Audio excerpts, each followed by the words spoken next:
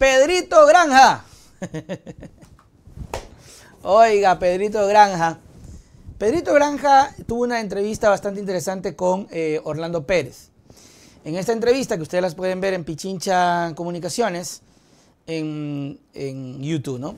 Ah, también nos ven desde Galápagos. Ay, qué bonito, Cristian. Vea, hermoso Galápagos. Una vez estuve por ahí yo. ¿Cómo están las islas? Oye, qué chévere, qué bacán, ¿no? Bueno, yo estuve y sí, bueno, puedo decir que eh, hace falta bastante el tema de atender con eh, muchas cosas a Galápagos, porque eh, todo caro, loco. Una cerveza ahí, no es carísimo. Yo quería tomar una biela, una biela chiquitita, como 5 dólares, loco. Como 5 latas, hombre. Sí, no, pero es carísimo. Pero me explicaban que obviamente es porque no llegan las cosas y tienen que venir por barcos y todo eso. Saludos allá, hermoso, las Islas Galápagos. Pedro Granja se lanzó un tema interesting.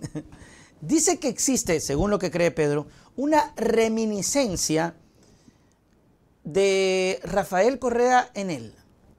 O sea, las palabras fueron, la gente tiene una reminiscencia conmigo en torno a Correa. Es decir, ¿qué significa reminiscencias? Yo tampoco no lo sé, así que lo busqué. recuerdo, es un recuerdo vago, un recuerdo impreciso. Es así como un, como un recuerdo. Un... Y más o menos lo que entiendo de sus palabras es que Pedro piensa que la gente ve en él ese recuerdo del Correa de los años 2006, 2007, cuando ganó las elecciones. Yo recuerdo esa época. Yo recuerdo. Son épocas muy distintas. Y voy a decir algo tal vez un poco impopular. Y de pronto Correa tiene que haberlo analizado porque es una persona que eh, es muy inteligente.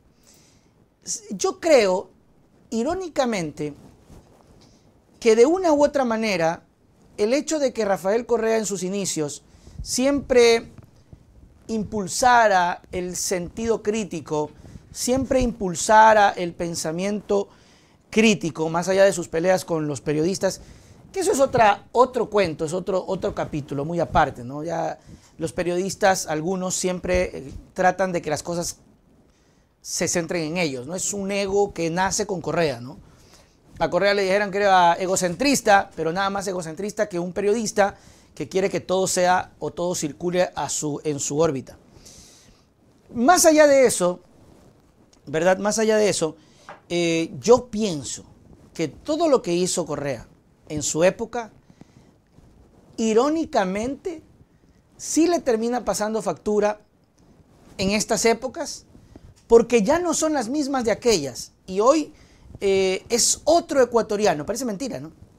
Pero es otro tiempo, otra época. Y lo que él enseñó, lo que él aplicó, lo que él expuso sobre el sentido autocrítico, sí se hace evidente en una generación que de pronto dice, bueno, sí, pero no.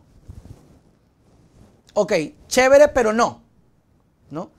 Es como, me enseñaste a ser autocrítico, me, nos enseñaste a ser, eh, o impulsabas el crecimiento educativo, profesional, y hoy creo que sí, pero no. Sí me, sí me cachan la idea, ¿no? O sea, solamente es, una, es, una, es un análisis vago mío, que yo a veces creo. Entonces, que eh, a veces te pasa factura. Una factura que tiene un, sabor eh, agridulce por lo bueno que tiene en su profundidad, pero que al final te termina perjudicando. Yo no sé si exista una reminiscencia, porque sinceramente los tiempos son diferentes. Sí creo que tal vez ese sentido autocrítico recae no solamente en Pedro, sino también en Carlos y en la izquierda en sí. Entonces sí creo que mucha gente eh, que respeta y quiere mucho a la izquierda de Correa, en algún punto pueden determinar y decir, sí, pero mejor me gusta este otro estilo o mejor me gusta el estilo de acá. O simplemente ya les dimos la oportunidad y quiero darle la oportunidad a estas personas. Ocurre. De, verdad, pasa. Sinceramente. Eh, pienso que, insisto, un criterio muy mío, eh, que te pasa factura, ¿no? Y eso es bueno. ¿no? Es, como, es como enseñarle a tu hijo desde chiquito eh, ser crítico, ser autosuficiente, ser dedicado, y cuando crece y quiere alzar vuelo, tú te resistes, ¿no? ¿Verdad? No olvides pegar el super chao, no olvides pegar el super chao. Es, es más o menos eso, ¿no? Eh, en esa comparación. A tu hijo le enseñas, hijo, usted tiene que ser fuerte, usted no, usted no se puede dejar, usted tiene que pensar por sí mismo, usted tiene que analizar, usted tiene que ir, ¿verdad? Y cuando crece y tu hijo quiere hacer eso, tú no, no, ¿por qué? ¿Por qué? Pero padre, padre, tú me enseñaste, tú me enseñaste. No, no, es así.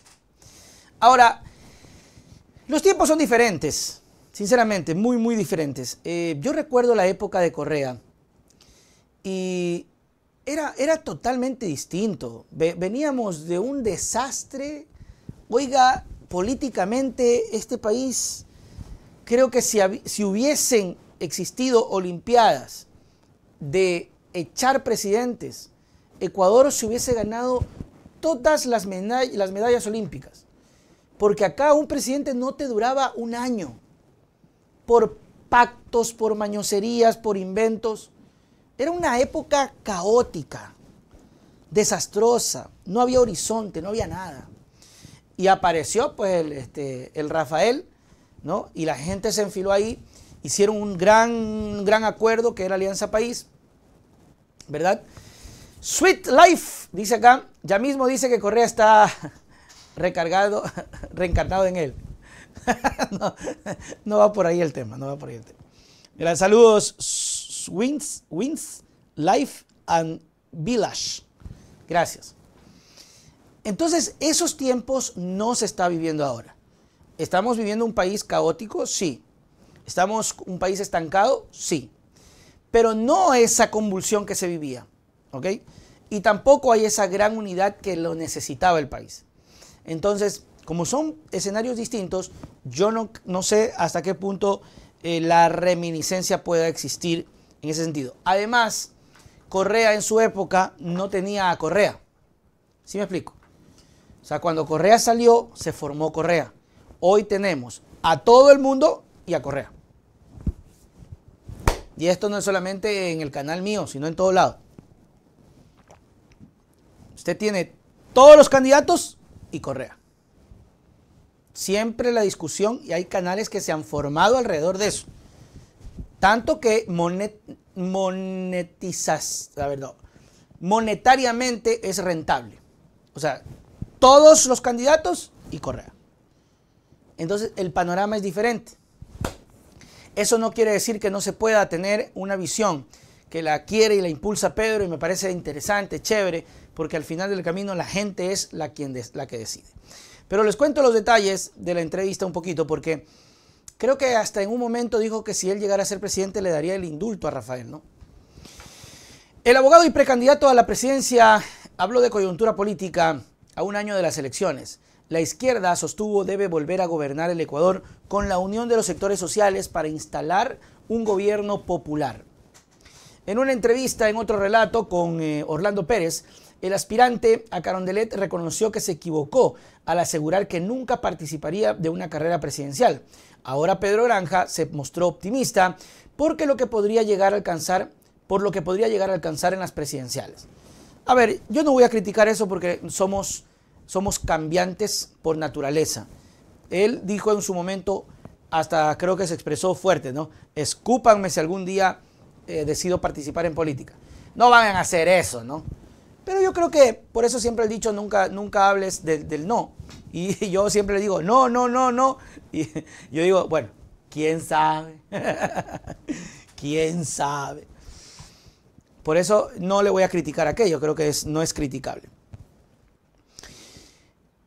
En este sentido, el abogado Granja afirmó que la izquierda ecuatoriana necesita representantes que salgan de sectores populares, que escuchen a la gente. Incluso sostuvo que hay gente que lo ve como Rafael Correa en la época del 2006. Bueno, chévere. Creo que hay mucha gente que ve en Pedro Granja una reminiscencia de Correa del, del 2006.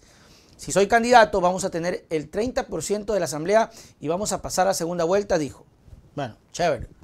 No, está bien, eso está bien. No hay que jamás dudar y me parece interesante y bueno que los candidatos sean así de frontales. Yo creería que lo que está haciendo ahora está mucho mejor que pedir eh, este, primarias y esas cosas. No, yo, yo creería que más bien lo que está haciendo ahora, de ya mostrarse como un candidato, de ya afianzar, de ir trazando estrategias, es mil veces mejor. Porque suena bonito, suena lindo, pero no habrá unidad no habrá unidad. Es muy difícil. Los egos políticos, hermanos míos, es impresionante. María Augusta, ¿cómo así? ¿Cómo así? De, oficializarse la candidatura de Pedro a la presidencia, adelantó propuestas como la despenalización del cannabis, reformas judiciales, reformas carcelarias, la eliminación del Consejo de Participación y regresar a una ley de comunicación, entre otros puntos. Entre tanto, sobre otros actores políticos que participarán en los comicios, el abogado dijo estar en desventaja. La democracia es luchar en igualdad de condiciones y no se puede competir con Novoa, que tiene bananeras, medios, con Jean Topic, que tiene una empresa de internet, o el mismo correísmo, que tiene una estructura burguesa que aplasta a cualquier pensamiento disidente. bueno, pero el CNE les da presupuestos. ¿No? Eso les da presupuestos. Sobre Luisa González, es candidata, Granja opinó que de participar en los comicios y ganarlos sería una gran, eh, sería una gran presidenta, porque es muy valiosa. Finalmente, sobre las características que debe tener un presidente de la República, Pedro Granja resaltó que un mandatario debe estar más en territorio, dejar de pasar en avión, y también dijo que debe tener un equipo que trabaje el triple para la gente. Escuchemos un poquito. Si para todo eso hace falta hablar con Correa, hablarías con Rafael Correa. Absolutamente, pero si mira, yo lo admiro a Rafael Correa, ya, siempre lo he admirado y yo no, yo no escondo mi ¿Qué es lo que admiras de él? Por ejemplo, su capacidad como, como un, líder, como un hombre organizador, el profundo eh, sentimiento de desazón, de tristeza que él siente por la gente más pobre. Es decir, tenemos muchos más puntos de coincidencia que de disenso.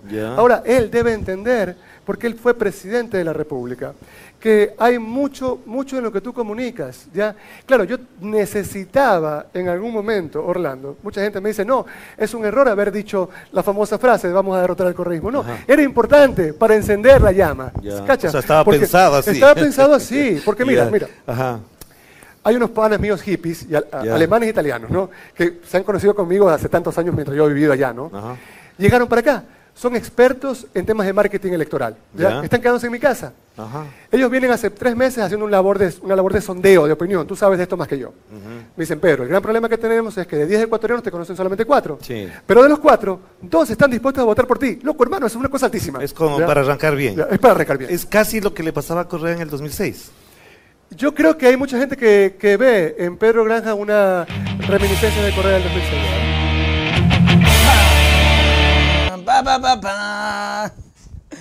Bueno, eh, si quieren ver la entrevista completa está en Pichincha eh, Comunicaciones, Pichincha Multimedia en YouTube. Ahí está completita, usted puede ver.